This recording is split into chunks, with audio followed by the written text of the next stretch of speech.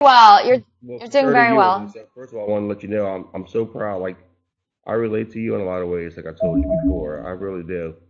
Um, being kicked out of something and then trying to, re, you know, re, you know, and then finding a new piece within yourself. I, I completely relate. Thank you, Ruffy. Ruffy, hold on one second. I'm getting a call. Hold on one second. We're, we're going to continue this. Hold on. Just, just be quiet for one second. Hold on. Hello? Hello. Yes? Um, uh, is this um Lisa Jordana? Yes? Oh, hello. I'm Mrs. Gellstein.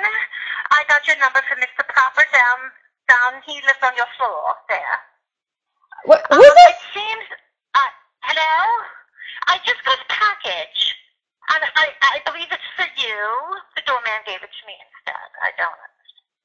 You have a package for me? Wait, who is I have a package.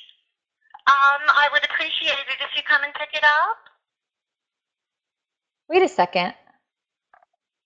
Does it say who the package is from? Um, on, let me get my glasses. Let me see. Um, I believe it's from a Lu- Lucas Wilson. Oh my god, it's here!